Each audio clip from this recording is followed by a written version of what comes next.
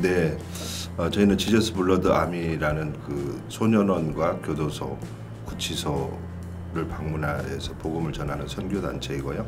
최근에 그 소년원에서도 좁은 공간에서 아이들이 같이 있다 보니까 신체적인 접촉들을 통해서 출소한 이후에 동성애자로 되는 경우들도 있고 또한 교도소 같은 경우에도 동성애자들은 아니지만 자기들의 어떤 그 성적인 욕구를 풀기 위해서 그 연약한 아이들에게 그런 성적인 대상으로 삼아서 그 피해자들은 또 출소한 이후에도 아, 그런 거에 대한 트라우마 때문에 좋지 않은 가치관을 받아들이게 되고 그런 동성애자들이 되는 경우가 있고 아, 또한 군대 내에서도 동성애자가 아니었지만은 그 폭행을 당하고 성적인 어떤 부분들이 조금 문제가 되는 것도 어, 목격하고 있습니다.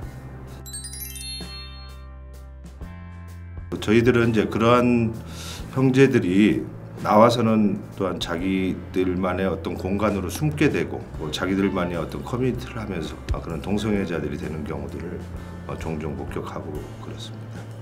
저희들과 교제하고 그러면서 운동도 같이 하면서 또한 말씀과 기도 훈련을 통해서 어, 그런 것들을 극복해 나가고 또 굉장히 이제 표정도 밝아지고 과거에 자기가 당했던 그런 트라우마에서 좀 벗어나서 또 자기 관리도 굉장히 잘하고 있는 형제가 또 있습니다. 충분히 회복이 가능하고 가족 공동체 내지는 다른 공동체에서 그들도 어, 충분한 사랑을 받고 자신에게 들어와 있던 좋지 않았던 그런 가치관에서 그 하나님의 가치관으로 정체성을 회복시켜 주니 아, 그들이 이제 회복되는 것들을 목격하고 있습니다.